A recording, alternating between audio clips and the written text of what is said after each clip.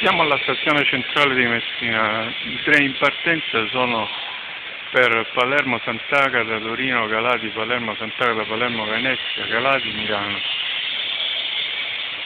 Oggi è il 7 di ottobre, a sei giorni dal disastro non ci sono treni che collegano Messina con eh, la Sicilia orientale, cioè Catania, Siracusa e la linea ancora interrotta abbiamo solo treni che fanno la linea per Palermo. La stazione centrale di Messina è una delle più grandi d'Italia. Ha la stazione marittima e la stazione ferroviaria. Questa è la stazione ferroviaria. Ci sono treni solo per Palermo alle 16.25 e un treno per Galati alle 16.40.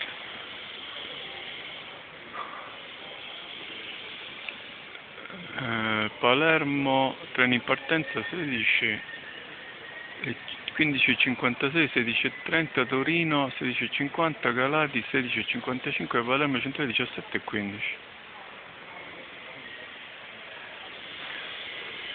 La stazione di Messina smista i treni che vengono dal continente in due treni, li divide in due, un pezzo va a Palermo, l'altro pezzo va nella Sicilia orientale fino a Catania, Siracusa.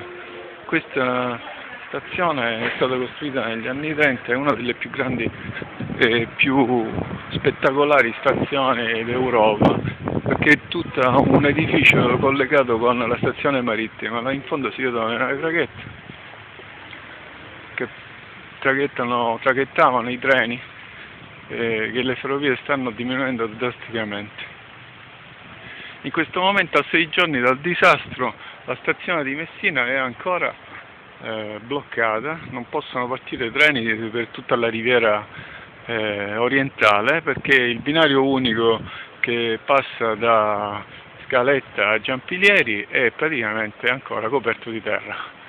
Un paese che si dichiara essere la quinta potenza economica del pianeta e dopo sei giorni ancora non è riuscito a liberare eh, poche migliaia di metri di, di binario coperti dalla, dal fango. Nonostante ci siano coinvolte esercito, eh, marina, capitaneria di porto e tutti i mezzi possibili e immaginabili che ci sono a disposizione eh, in questo momento, anche perché il tempo è migliorato nettamente, non piove più da ormai 4-5 giorni, non piove più, quindi non si vede come un paese così eh, ormai climaticamente ristabilito non possa affrontare una situazione di emergenza e risolverla in tempi eh, umanamente accettabili.